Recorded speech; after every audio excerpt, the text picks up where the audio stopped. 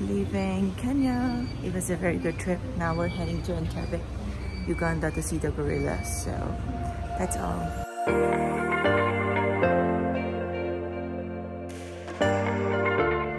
Alright, so at Entebbe airport now and this is the best boarding pass I've ever gotten in my life.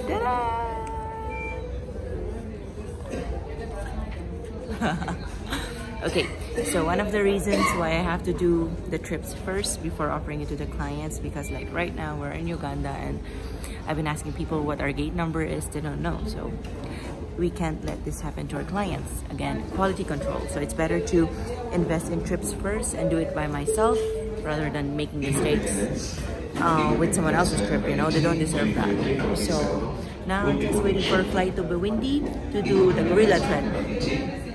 Are you ready? Bueno, pues estoy en Uganda vamos a ir en esta chatarra espacial a, Wait. Uh, a la isla de los gorilas. Así que nada, bonito. Alright, so about to make my dream come true to do the gorilla trek in Uganda. Let's do this.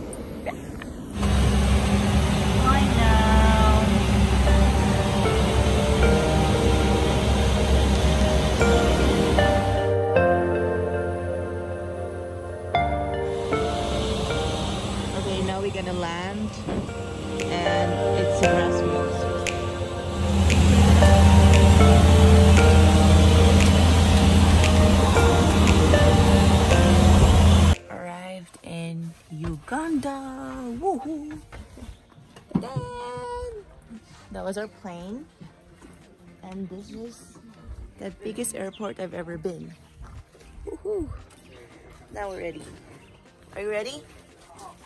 Not yet. Why? I don't know. Western Uganda. So the, the southwestern Uganda is the, is the, is the last part of, um, of of Uganda and borders Democratic Republic of Congo Yes, in the south. right. So this is Kihihi now where we are.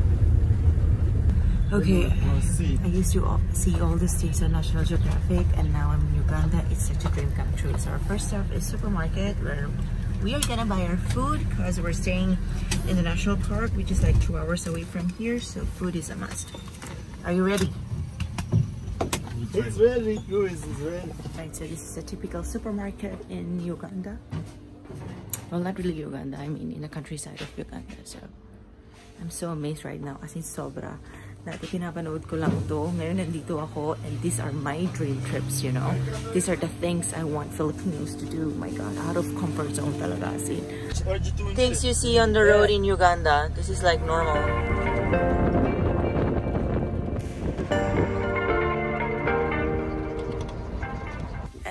In my opinion, Africa is a very, very rich country. I mean, coffee everywhere, tea everywhere. Pero kinuha na Starbucks lahat ng credits. So, ayun. These, these are the trips, um, these are my dream trips, you know, that I do for myself. And of course, uh, to promote in the Philippines. But it has been really challenging for me to educate people on this kind of um, travel because people are so into first world countries, shopping, good food, and just comfort zones, you know. So uh, um, I hope someday makakita nila yung hard work I put into making these tours and of course the effort. So okay, so just arrived here. This will be our home for the next five days, and we saw zero tourists on the way. So these are the places I really recommend if you want to disconnect from everyone and appreciate life and the hard work you do, you know, and to enjoy your money. Oh my goodness. Sobrang ganda. Let's do the check. So this is our room in Uganda. First glimpse of the gorilla and our view. So right now, there are no tourists at all. Diba? This is the tourism I want everyone to experience with access. Of course, we've been here just for 10 years. I mean, in the industry. So we still have, I still have my whole life to promote anything I want. That's the great thing about tourism, you know? Sky's the limit. Okay, so uh, before I enjoy everything, which what I've been trying to do, that's the goal for this year, that while I'm working, I will try to enjoy everything. So, you know, I was so grateful in Kenya. There was no internet in the rooms, just in the lobby. So that's why right now I have 400 emails to answer. But I think uh, since Access is turning 10, now I can try to enjoy a bit of what I've worked on. So now, here we are. Walang tourists, kami lang. So we are now just walking around the town to have a look at how people live here. So I asked our guide, where do they go when they need to buy things? And he said, lahat daw mabibili sa town, which I find really fascinating kasi it's such a small town and I didn't see a single shop. So, saan sila bumibili ng things? But, you know, that's the thing. For them, we live in a very, well, again, for them, it's us living a very strange life. But for us, sila naman. So, I think that's how it is. It's vice versa. So what we feel about them, they feel the same about us. So, ayun. So I think we're done with the town. Oh, the, the town is called Ruilla. Ruhija. Okay. So So this is the end of the town. this is the end of the town. Dead end. It was just 10 minute walk, Hey, more or less. Are they going? All right, so we're visiting a school and an orphanage near a lodge. So if you travel with Access, some of the proceeds will go to this place, you know. Normally what I do is I send the my contribution to them once in a while or I send it through someone when someone is visiting or I just ask our suppliers to give them the money. So yeah. So now okay, wait, I, I wait, okay. Let's get inside the classroom. Five It's a classroom. then ten girls. Uh-huh. Yeah. So What happened? Moses serving our dinner. We feel so private and VIP. And Vincent is joining us. Vincent is our guide on this trip. And this guy just decided to join us. We saw her on the street. all right, so that's all. Good morning. Today is a big day. Today is the big day. We're going to do the trek with gorillas. Yay! But first, breakfast.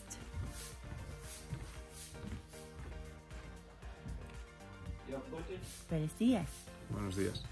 Morning. I am already getting awake, so What? nothing to say so far.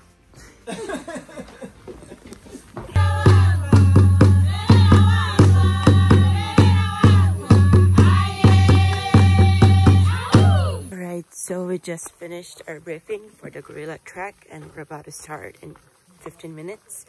So how it works, um, of course there are several briefings to begin with and um, the rangers and the security will go with everyone. That's why you pay a lot for this trip because there are rangers involved, private guide, private driver, private car and everything and uh, only eight people in a group can access a park at the same time. I mean, right now there are just two groups, so eight times two, only 16 people going inside the forest to see the gorillas. So that's why you pay really expensive, you know, for this kind of things. So yes. Do we have two liters of water, I don't think so. Virgilio? I don't think so. We are not ready. Let's go. Yes. Okay, I'm gonna enjoy this moment very, very well. They're here, but for them, they're up, down there, moving up and down, looking for the family. I believe they will locate them, and we start our viewing. We make spirit successfully. They're doing very well. Alright, so we have reached the point where the gorillas are, but I'm gonna keep my phone down because I want to concentrate and focus on this before I lose my phone and myself. Alright. Hindi sila makita. Ayun! Ayun! Ayun!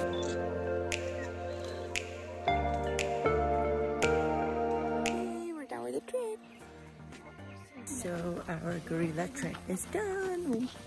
Once in a lifetime experience. Probably one of the best experience I've ever had in my life since I started Access Travel. Virgilio. Yeah, it was the, one of the best experiences ever lived. So I am very, very, very happy of this. Yay! Time for lunch. Now, Maureen, thank you so much for helping us. Say hi. Done with the graduation and got my certificate. Yay!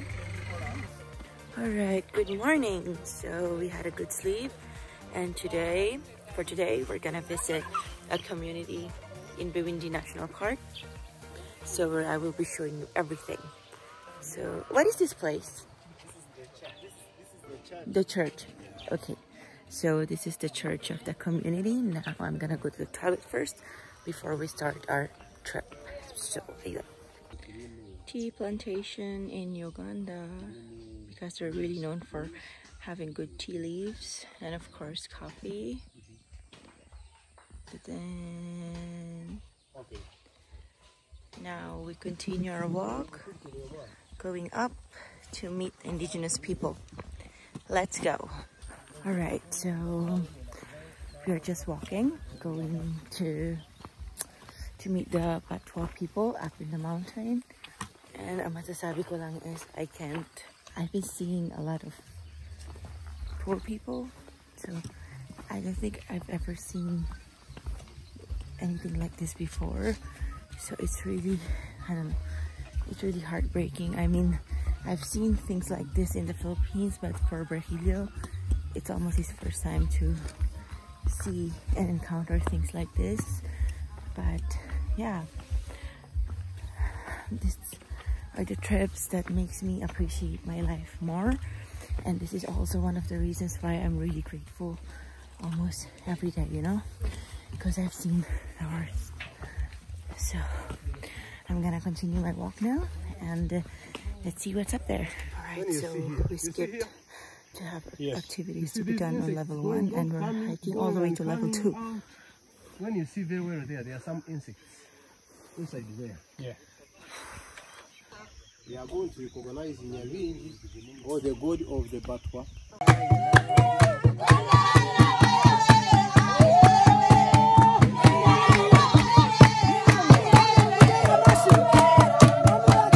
All right, so I made a new friend and I'm gonna introduce her, Sylvia. Hello. Hello. What's the special thing about Sylvia? She's the first Batwa woman who officially, who's educated like us. She can speak English and everything. So Sylvia, what's your message to everyone who's gonna watch this video? Hello everyone. My name is, is Sylvia. I'm a first Mutwa who is educated. I have a master's in organizational leadership. I invite everyone to come and support the Batwa so that you can also get education. You can come to Uganda, you visit Batwa, you visit the gorillas. Uganda is a unique country. So it is good to have visitors who are supporting us in education and in home building and buying more land for the Batwa because we were, when we were when we were evicted out of the land, we are landless, but the visitors, well wishers, they buy for us land. So we wish more visitors to keep on coming and supporting the Batwa community. Thank you.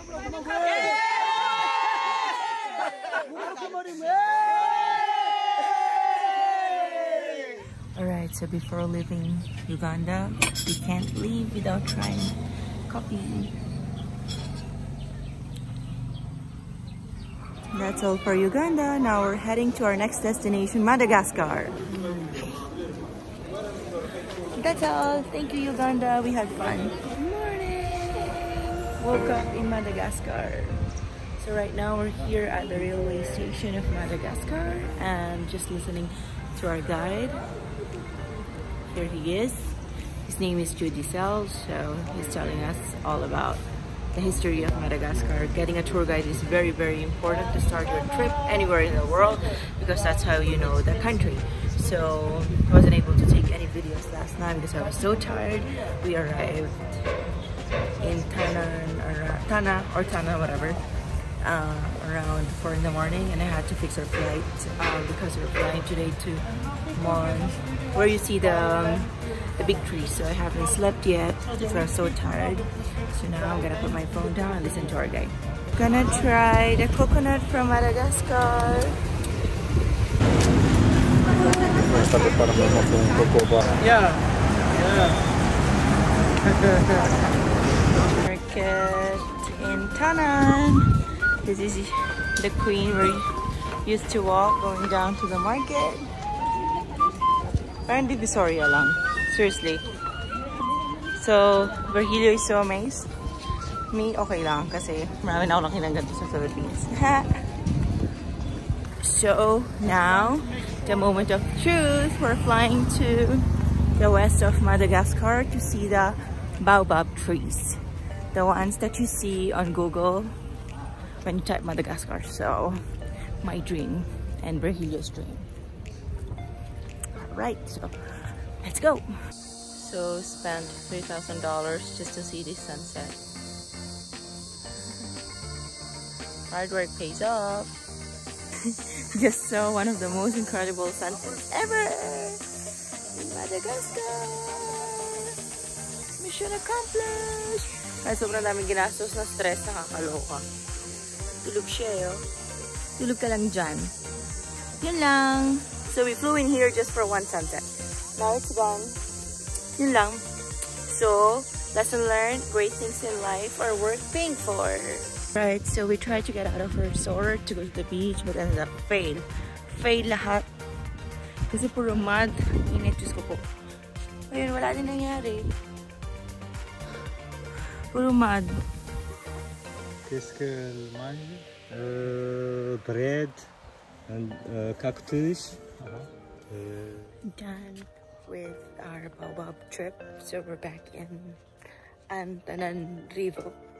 Rivo. Tana. So we're visiting a park, but for me it's a private zoo.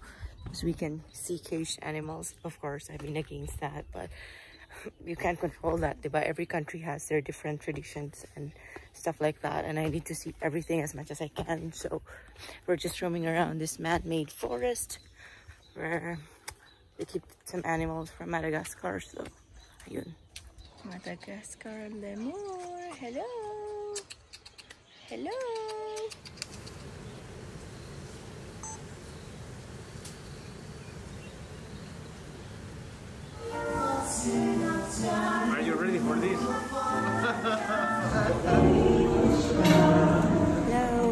Last day in Madagascar and we, we visited the Lemur Park. I wasn't able to take some videos because I left my phone in the car. So I was just trying to enjoy my last day with, I don't want to say his name, Virgilio. Sige, sinabi ko na. So yes, um, this 2020, I'm really trying to make my weekends more about spending my time with my loved ones, with my family and myself because I work a lot, way too much on weekdays. So I really think we, do, we don't really need to take sabbatical break every year or whatever. So even small breaks every weekend, sobrang nagmamatter. So ayun lang. That's all for Madagascar.